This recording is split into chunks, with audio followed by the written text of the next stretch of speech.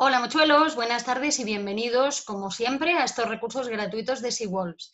Hoy quiero hablaros de los elefantes marinos y hoy me gustaría dedicarle este vídeo a María Ramiro y a Maribico Yazo por motivos diferentes a los que suelen ser habituales. Normalmente os dedicamos los vídeos porque vosotros nos solicitáis este tema.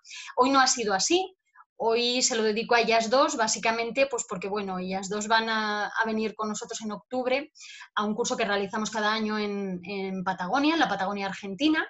Y bueno, pues eh, sé que están un poco preocupadas y asustadas, como estamos todos, de si la situación se habrá recuperado para octubre, si podremos volar sin problemas para Argentina y si podremos sacarlo todo adelante o tendremos que, que hacer un pequeño parón y posponerlo. Y entonces, bueno, pues para un poco para llevarlas ya para allá y para que vayan viendo lo que nos espera en octubre seguro, seguro, seguro, porque yo soy optimista en que las cosas van a ir bien, eh, pues, pues quiero dedicarles a ellas este, este vídeo, porque además la mayor parte de las imágenes que vamos a ver son imágenes eh, bueno, pues de, cursos previos que nosotros hemos hecho allí en, Patagonia y bueno, pues eh, relacionadas con estos animales que, como luego os contaré, son animales em, digamos, muy especiales para mí, con los que yo tengo una relación especial, ¿no? Eh, importante, por decirlo de alguna manera, y básicamente porque son animales con los que he vivido algunas de las experiencias profesionales más chulas ¿no? de, toda mi vida.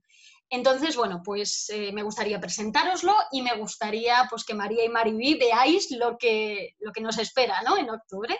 Entonces, bueno, dicho esto, vamos con los elefantes. Eh, aspecto general de un elefante marino, concretamente de un macho, ¿vale? Porque lo que tenéis en la imagen es un macho. Normalmente esta es la imagen o la idea que todo el mundo tiene en la cabeza cuando se habla de elefantes marinos. Realmente las hembras veréis que se parecen poco a, los machos, y que, bueno, pues si no tienen el macho al lado, a veces hasta cuesta un poquito reconocerlas cuando uno no tiene el ojo muy, muy hecho a esto de distinguir focas entre ellas. Pero, eh, pero bueno, el macho sí que, sí que yo estoy segura que es un animal que, que, nos es familiar, ¿no? Al menos su imagen. Entonces, bueno, quería comentaros sobre todo, para empezar, que lo más característico que tienen los machos de elefante marino es esa probóscide o esa trompa, ¿vale? Que estamos viendo aquí en la imagen, que tiene una doble función por un lado es un carácter dimórfico, eh, es decir, es diferente entre machos y hembras y por tanto su, digamos, su función tiene que ver con aspectos reproductivos. Es un elemento de competencia sexual y territorial, ¿vale? que poseen los machos, un poco como em, elemento disuasorio de otros machos. Ellos inflan esa probóscide y de esa manera un poco colocándose en, la postura en la que estamos viendo a este animal eh, y hinchando esa, esa probóscide, dejan ver al otro ejemplar, al otro macho, pues un poco su capacidad física y también su capacidad comportamental, es decir, su eh, predisposición a llevar aquello de un display ritualizado a llegar a las manos, ¿vale? Por decirlo de alguna manera, a que acabe habiendo una carga agresiva y que pueda, eh, puedan llegar a, digamos, agredirse los animales entre sí para evitar que, bueno, pues que uno de esos machos se acerque a las hembras. Entonces, por un lado tenemos esa función de competencia sexual y por otro lado, la probóscide sirve como un reservorio de oxígeno durante las inmersiones. A ver, os explico. Los eh, elefantes marinos destacan como los pinnípedos con mayores capacidades de inmersión, es decir, eh, dentro de otáridos eh, odovénidos, o sea, de, leones osos marinos morsas y de los fócidos, las focas, los elefantes marinos son los que se ha podido demostrar que alcanzan unas inmersiones mayores o unas profundidades mayores durante sus buceos. Estamos hablando de que superan los 1500 metros de profundidad, que ya es. Estamos hablando de mamíferos que tienen pulmones y que por tanto solo pueden respirar en superficie. Entonces, para ellos es muy importante, eh, digamos, hacer estas inmersiones con reservorios de oxígeno en su cuerpo que les permitan seguir funcionando, por decirlo de alguna manera así muy objetiva, seguir funcionando, que su cuerpo pueda seguir realizando una respiración celular, porque dispongan de oxígeno eh, para ello, ¿no? Entonces, básicamente esa probóscide está muy vascularizada, es decir, tiene muchos vasos sanguíneos, mucha cantidad de sangre, y esa sangre actúa como una reserva de oxígeno durante las inmersiones, ¿vale? Bueno, bien, hasta aquí lo que yo os quería contar, así sin más. Siguiente, Eh, la taxo, lo de siempre, ¿vale? Ya me conocéis. Me gusta que seamos capaces de ubicar a los animales en, su posición real, ¿no? ¿Dónde están en el mundo? Bueno, pues eh, los elefantes marinos son focas, son un tipo de focas, con lo cual están dentro de esa familia de los fócidos. Y eh, si recordáis, que ya hemos visto esto de, los caniformes varias veces en varios recursos, pues el suborden de los caniformes es simplemente un subgrupo que existe dentro del orden carnívora, es decir, de los carnívoros, de los mamíferos que tienen su dentición transformada para una dieta carnívora tengan o no una dieta carnívora actualmente, ¿vale? Pero su dentición se transformó, al menos en, eh, a lo largo de su evolución, en algún momento de su evolución, para esa dieta carnívora. Tienen, si recordáis, muelas carniceras en P4, M1, cuarto premolar superior, primer molar inferior, ¿vale? Bueno, pues teníamos dos grupos, feliformes y caniformes, y lo que nos interesa son los caniformes, que es donde estarían los elefantes marinos. Aquí tenéis todas las familias que hay dentro de caniformes, desde los cánidos, con lobos, chacales, gorros, coyotes, toda esta gente, los osos que estarían en la familia Busidae, las mofetas en Mephitidae, el panda rojo, el Lurus fulgens en la familia Luridae, los prociónidos pues serían los quincayús, los cuatíes, también los mapaches. En mustélidos tenemos la mayor diversidad de carnívoros, ¿vale? Desde nutrias hasta los tejones, ¿vale? Pasando por comadrejas, martas, garduñas, armiños, bisones, eh, turones, ¿vale? Una diversidad muy grande. Eh, ya os los he dicho todo, digo, a ver, me falta alguno. Y solo nos quedarían las cuatro familias de, eh, digamos, de caniformes marinos, ¿vale? Que serían otáridos, osos y leones marinos, Odovenidos, morsas, ¿vale? Odovenus rosmarus, solamente esa especie, y fócidos, las focas, ¿vale? Yo sé que esto de llamarse elefante marino suena muy parecido al león marino, a oso marino o a lobo marino, que es el término que se da en la mayor parte de Latinoamérica, eh, digamos, para, para, los otáridos, para osos y para leones, como los llamamos aquí en Europa. Entonces, bueno, pues tú dices mm, lobo marino y dices mm, elefante marino y parece que va todo en el mismo saco, pero no, ¿vale?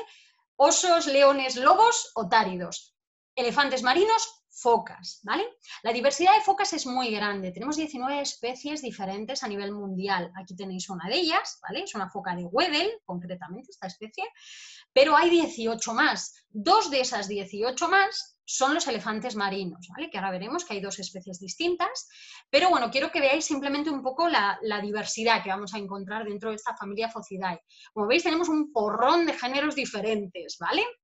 El género Histriofoca por ejemplo, es la Estriofoca fasciata, es la única especie que hay dentro, sería la foca de bandas, que la vimos hablando del dimorfismo sexual asociado a la coloración, aquellos machos que eran blancos y negros frente a las hembras de un color más apagado, ¿vale? Pagophilus groenlandica, que sería, eh, digamos, la foca pía o foca de arpa, que ahí tenemos un ejemplar, este que tenemos en esta imagen. Es mm, tristemente famosa esta especie porque las cacerías anuales que se realizan en Canadá de crías de foca eh, para la industria peletera, son crías de esta especie, ¿vale? De Pagophilus groenlandica, que a diferencia de los adultos tienen un pelaje completamente blanco y, bueno, pues eh, también más mullido, más, más vistoso, por decirlo de alguna manera, y tristemente muy apreciado en peletería. Eh, cristata sería, por ejemplo, la foca de casco, el, en eh, Alicerus, ¿vale? Eh, sé que el nombre es horrible escrito, eso de Alichoerus, pero se lee Alicerus. Tendríamos también solo una especie, que sería la foca gris, Alicerus gripus. Erignatus, Erignatus barbatus, solamente una especie. Aquí tenemos un Erignatus barbatus, ¿vale? Foca, em, foca barbuda, perdón, que los nombres científicos me salen solos y a veces me trago los, en los comunes. La foca barbuda, que bueno, no tengo que explicaros por qué se llama así, ¿verdad? Mirad los bigotes tan increíblemente largos que tienen estos animales, de ahí viene su nombre. En el género foca vamos a tener dos especies diferentes, la foca vitulina o foca común y la foca larga. En el género Pusa tenemos tres, ¿vale? La foca del Caspio, la de Baikal y la foca anillada, ¿de acuerdo? Serían tres especies, oh, perdón que no sé hablar, tres especies distintas, ¿vale? Eh, pusa híspida, pusa sibírica y pusa cáspica, son los nombres científicos. Omatofoca es eh, una especie, vamos, un género que tiene también solamente una especie, se trataría de Omatofoca rossi, la foca de Ross, es una de las antárticas. Aquí tenemos Monacus y Neomonacus, son las focas monje, ¿vale? Habría tres especies diferentes entre los dos géneros, una en Monacus, Monacus monacus, que es la foca monje del Mediterráneo, y Neomonacus tendría dos especies, ¿vale? Neomonacus sawislandi, que tenemos aquí un ejemplar, es la foca monje hawaiana, y Neomonacus que sería la foca del Caribe, foca monja del Caribe, que está extinta, ¿de acuerdo? Se extinguió eh, pues entre los años 50 y los años 70 por sobreexplotación humana. Las dos especies que tenemos de focas monje, quiero decir las que quedan, eh, quitando la de Caribe que ya está extinta, tanto eh, Monacus monacus como Neomonacus auislandi están catalogadas como endangered, es decir, como en peligro de extinción, ambas. Si queréis otro día, hablamos de estas especies, de su problemática y de qué se está haciendo para intentar evitar que desaparezcan. Nos quedan tres géneros más antes de llegar a, nuestros ansiados elefantes. Leptonicotes wedeli, la que hemos visto en la diapositiva anterior, ¿vale? Esto es una Leptonicotis wedeli, es una foca de Wedel. Lobodon carcinófaga, que es la foca cangrejera. E Hidrurga leptonix, tenemos aquí el género Hidrurga, que sería la foca eh, leopardo, ¿vale?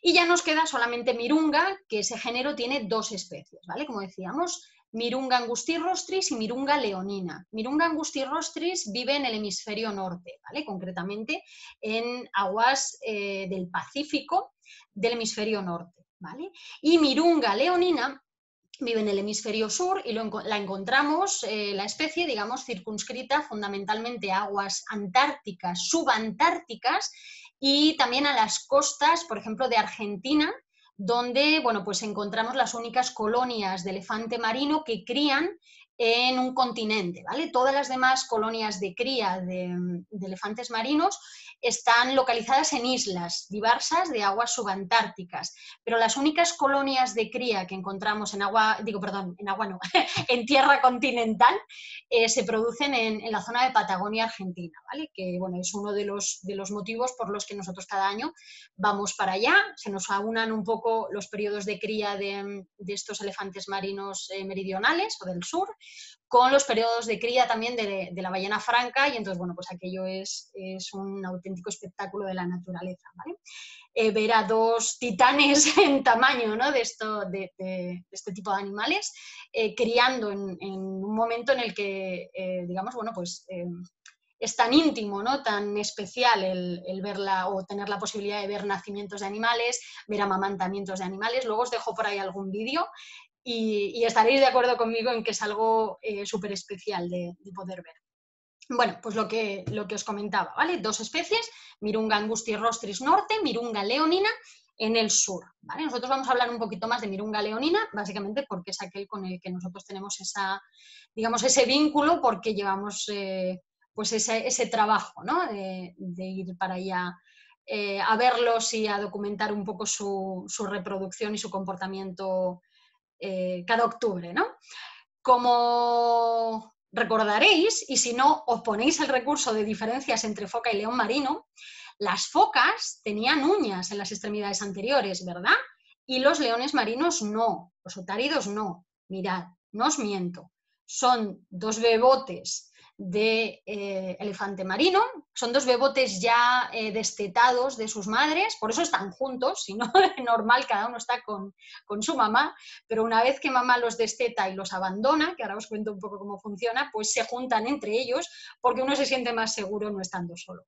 Sobre todo cuando todo es nuevo porque eres un bebé. Bueno, pues ahí veis sus garras, ¿vale? O sus uñas. No os miento, son focas. No tenéis que creerme, ya lo estáis viendo.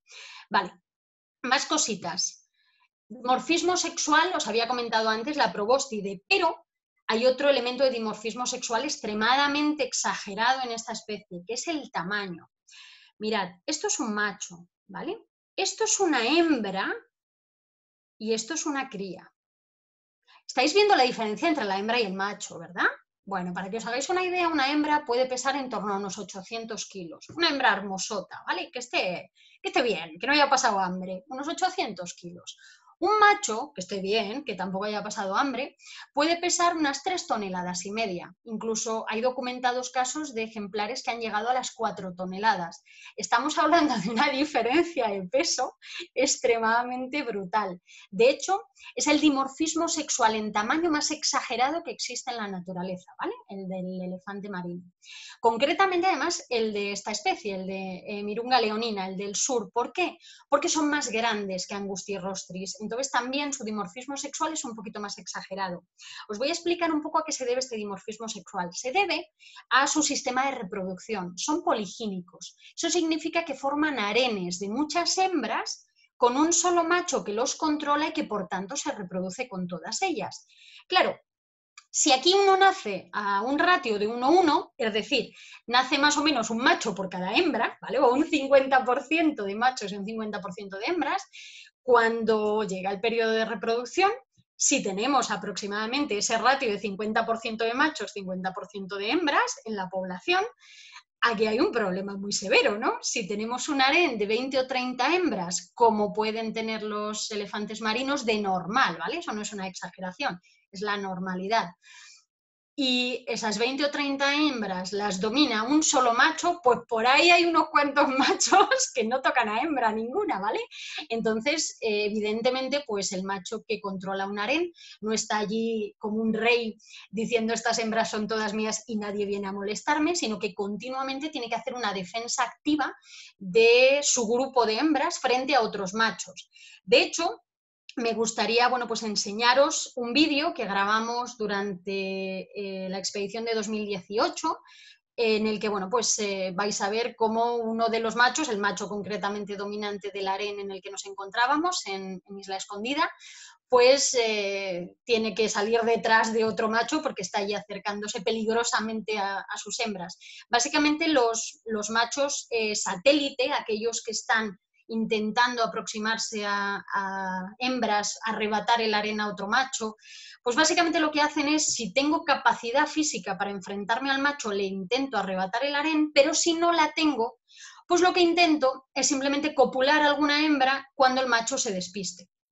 Si el macho está echando a otro macho, el macho dominante está echando a otro macho por ahí, por ese lado, pues yo voy por este otro, porque los arenes a veces son muy grandes y están esparcidos por varios metros, eh, varias decenas de metros en la playa, pues mientras se pega con aquel, yo voy a ver si, copulo aquella y, ya está. Y con eso pues voy avanzando algo. Entonces es una estrategia muy común, sobre todo en machos jóvenes que tienen menos experiencia, que tampoco tienen a lo mejor el mismo tamaño corporal aún, porque, bueno, pues porque les falta, ¿no? Son sexualmente maduros, pero aún les falta tiempo para terminar de alcanzar el tamaño de un, adulto completamente desarrollado. Entonces, bueno, ese es el caso del vídeo que os voy a poner a continuación. Mirad aquí, antes de, poner el vídeo, este es el macho que está controlando este harén. Veis que hay hembras con crías, están distribuidas por todas partes, las tenemos por allí. Bueno, ahí, por ejemplo, tenéis crías destetadas que están solitas. Distinguimos a las crías eh, pequeñitas, pequeñitas, porque son negras o todavía tienen esa coloración más oscura, ¿vale? Y las destetadas ya tienen un color mucho más grisáceo, más pardo, con esas barriguitas tan eh, luminosas, ¿no? tan blanquecinas. Bueno, pues este, este macho, el pobre, estaba pegándose allí con, cuando grabamos esta imagen, estaba pegándose allí con dos por el, por el lado derecho de la playa que se acercaban y en lo que fue para allá, pues por el lado izquierdo vino un tercer macho que se acercó a una de las hembras e intentó copular con ella y este pobre tuvo que salir corriendo detrás de él y esto es un continuo. Nosotros estuvimos eh, observando a este grupo pues eh, unas ocho horas y el, pobre macho, el hombre, no, no, paraba, no le dejaban parar en, todo el tiempo que estuvimos. Y esto es día y noche, ¿de acuerdo? Entonces, bueno, pues es un desgaste también físico para los machos enorme, pero de ahí también eh, entendamos su, su, grandísimo tamaño, ¿vale? Ese tamaño tan diferente al de las hembras. Ellos tienen que pelear por defender un territorio grande, mientras las hembras no tienen ninguna necesidad al respecto y evolutivamente ha sido mucho más positivo para ellas ser pequeñas que, digamos, pueden abastecerse o nutrirse con una menor cantidad de alimento, ¿vale? Necesitan muchas menos kilocalorías para estar ok de lo que necesita un macho, pero un macho para defender su territorio, pues tiene que ser así de grande, ¿vale? Bueno, al vídeo, que es lo que yo quería, si encuentro el ratón. Aquí lo tenéis. Ojo que parecen lentos y no lo son, ¿vale? Mirad cómo corre.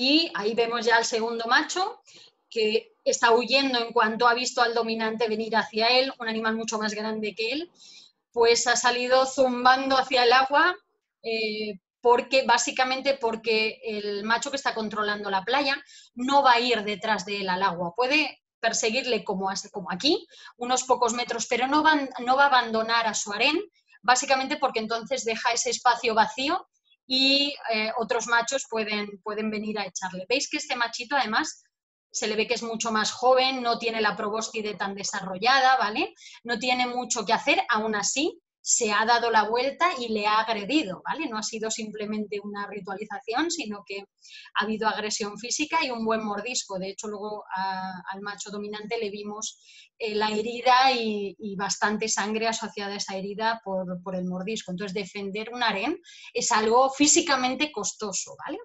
Bueno, ¿qué más cositas os quería yo contar? Pues que parte del motivo por el que estos animales son tan especiales para mí, ¿no? Tengo esta relación tan, tan especial o tan importante, por decirlo de alguna manera, con ellos, es porque, bueno, una vez pues tuve la oportunidad de conocer a, este animal, que básicamente es un, un, león marino, perdón, un león marino, un elefante marino, no habéis oído león, un elefante marino bebé recién destetado, ¿vale? Y sí, es un bebé. ¿Veis la diferencia de tamaño? ¿no? Quiero decir, es, inmenso eh, a mi lado, es muchísimo más grande que yo y más pesado que yo. Eh, para que os hagáis una idea, la reproducción de estos animales funciona de la siguiente forma. Las hembras van a la playa cuando eh, bueno, pues llega el momento de, de parir a sus cachorros y eh, los machos, evidentemente, también van a la playa porque tienen que defender esos arenes para poder reproducirse con las hembras, porque las hembras van a amamantar a sus crías durante tres semanas aproximadamente, ¿vale? Llegadas esas tres semanas, se produce el destete de la cría y la cópula, ¿vale? Puede pasar primero una cosa o primero la otra. Normalmente primero se producen cópulas porque la hembra entra en celo, entra en estros, copula con el macho y una vez que finaliza su celo, Básicamente la hembra desteta la cría, se marcha al agua y hace una migración hasta aguas antárticas para volver a alimentarse, porque ha estado tres semanas allí en la playa más el tiempo de la migración, primero gestando y después amamantando a una cría con el coste energético que eso supone, sin alimentarse, ¿vale? Allí tirada en una playa, dando de comer al bebote para que el bebote pase de ser un bebecito chiquitito a semejante cacho de bebé, ¿vale? En cuestión de tres semanas. Entonces, el coste energético es enorme, ¿vale? Ellas se marchan. ¿Qué ocurre con el bebé? Pues el bebé se queda solo. El bebé no puede ir con la mamá al agua porque aún necesita mudar su piel, ¿vale? Y le tienen que salir los dientes, que todavía no los tienen desarrollados en el momento del destete. Entonces se quedan solos en la playa y normalmente se van juntando entre ellos, a veces incluso intentan acercarse a alguna otra hembra para intentar amamantarse, para intentar mamar, no son bien recibidos. Nosotros hemos visto muchas agresiones de hembras hacia bebés destetados de otra hembra que intentan acercarse a mamar y les muerden, les echan, no, les permiten eh, amamantarse, ni siquiera aproximarse. Entonces, bueno, pues muchos de ellos acaban quedándose por ahí solitos. Y este es el caso de, bueno, pues de este animal que estaba solo, eh, estaba allí tumbadito y, bueno, pues yo estaba a bastantes metros de él, a bastante distancia, con la cámara de fotos en la mano, haciendo fotos, sin moverme, sin hablar, sin molestarlo. Él estaba durmiendo y después de un montón de tiempo estaría ahí sentada, abrió los ojos y me vio y, yo siempre digo lo mismo, ¿no? Que, normalmente pues a, la gente le suele hacer gracia, pero me miro con una cara de, esta tiene pinta de madre, y salió disparado hacia mí, pero vino arrastrándose como un loco derecho. Yo tenía en principio las piernas estiradas y tuve que encogerlas, como veis que, están en la imagen, porque venía directo a, a subirse sobre mis pies y al final pues le tuve que chistar, ¿no? Hacer un ruido para que se parase porque incluso con las piernas dobladas, pues seguía avanzando hacia mí para subirse encima. Si este bicho se me sube encima, me panzurra allí porque pesa bastante más que yo. Evidentemente no es un comportamiento para nada agresivo ni nada por el estilo, es simplemente una búsqueda de estoy solo, tú estás sola también, vamos a ver si nos hacemos amigos o algo y podemos pasar esto juntos, que, que parece que es mejor. Entonces, bueno, pues la verdad es que para mí fue una experiencia espectacular, ¿no? Porque normalmente los animales silvestres tienden a, tener, digamos, un comportamiento bastante eh, elusivo hacia el ser humano, bastante evitan ¿no? nuestro contacto, por supuesto la proximidad. Y, bueno, pues que de repente un, bebé de, estas dimensiones enfile hacia ti te vaya mirando con esos ojos de por favor quiéreme, fue, la verdad es que para mí fue una experiencia que, he vivido pocas veces ¿no? en, mi profesión. Y, bueno, pues me, resultó muy cercana, muy, muy especial. bueno, pues les tengo mucho cariño a estos animales por muchos otros motivos, ¿vale? Porque biológicamente son espectaculares, pero además a este bebote también por, por aquella experiencia, ¿no? De aquel día. Y bueno, para que podáis verlos un poco más en vivo, aquí tenéis a un bebé todavía en desarrollo, veis su pelaje negro y está mamando. Este es el cuerpo de la mamá, supongo que lo ubicáis bien, las extremidades posteriores, ahí tendría la apertura genital la mama se le va a ver ahora en unos minutos, vamos, unos minutos, unos momentos, unos segundos, cuando la cría aparte el hociquito. Y bueno, esa sería la extremidad anterior, ¿vale? Y ahí está el mama que te mama. Por cierto, aprovecho para comentaros que esto que se ve en torno al ojo, es simplemente lágrima porque estos animales continuamente están produciendo, eh, digamos, una lágrima eh, bastante densa que lo que hace es proteger el ojo, ¿vale? Lo hacen eh, fundamentalmente para proteger el ojo de la sal. Mirad qué bien se ve ahí la glándula mamaria. Tienen dos bien desarrolladas y bueno, la otra la tiene ahí debajo que se, se, aprecia así solo un segundo, pero esa de arriba sí que se veía bastante bien. Pues lo que os comentaba, ¿vale? Tienen esa lágrima mucosa muy densa para proteger el ojo, la córnea, el ojo de, la sal del agua. Entonces, cuando están fuera del agua y están en seco, pues parece que están como lloriqueando, ¿no? Que tienen, es simplemente por esa producción, eh, digamos, de lágrima continua que protege, que protege su ojo, ¿de acuerdo? Entonces, bueno, en seco pues da esa sensación. Y eh, quiero, ¡ay! No quiero volver a poneros al bebé, perdonadme. Lo que quiero es pasar a la siguiente diapositiva, y enseñaros un poco las dimensiones y la sensación que uno vive cuando está sentado cerca de estos animales. Este es el mismo macho de antes, el pobre que iba corriendo de un lado para otro para echar a machos que le entraban por un lado y a machos que le entraban por el otro hacia su harén. Y bueno, pues en un momento de carreras de un lado para otro y de hacer displays em, a unos y otros, pues se paró y, y nos dedicó un display también a nosotros. Evidentemente no es eh, un comportamiento agresivo realmente hacia nosotros, sino una muestra de frustración después del tiempo de ir y venir. Nosotros estábamos a distancia suficiente para no ocasionar ningún, ninguna molestia a los animales, como hacemos siempre, porque se trata de que se pueda aprender sobre ellos, de que podamos hacer etogramas, evaluar su comportamiento, pero nunca de, digamos, de molestarlos. Pero bueno, fue, fue una experiencia curiosa como en un determinado momento paró, eh, digamos, no rugió y continuó en su quehacer del resto del día. Venía de, de pegarse con otro. Entonces, mirad sus dimensiones.